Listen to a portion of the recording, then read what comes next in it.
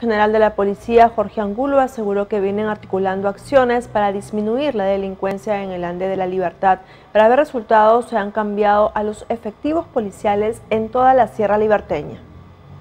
El jefe de la tercera macroregión policial de la Libertad, Jorge Angulo, manifestó que ante el incremento de la delincuencia en la Sierra Liberteña se viene trabajando en conjunto con el gobierno regional para articular acciones que les devuelvan la tranquilidad a los habitantes de esta zona. Muchos de nuestros jóvenes están yendo ya masivamente a estas zonas a buscar oportunidades laborales cuando son actividades bastante riesgosas entonces se produce ahí enfrentamientos entre ciertos poderes que hay eh, respecto a, las zonas que tienen de extracción y también la presencia de obviamente de personas que están al margen de la ley y que de una u otra forma ejercen violencia para sus propios intereses. Eso obviamente genera incertidumbre, temor, zozobra.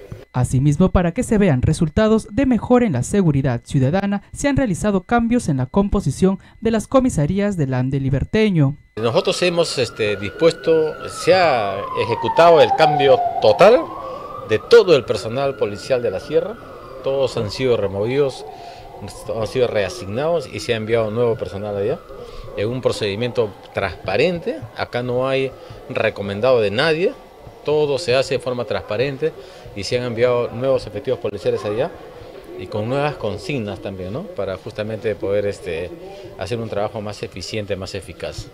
Finalmente, el general de la policía manifestó que los días en nuestra ciudad se encuentran contados y que es probable que sea derivado a la Dirección Nacional de Operaciones Policiales.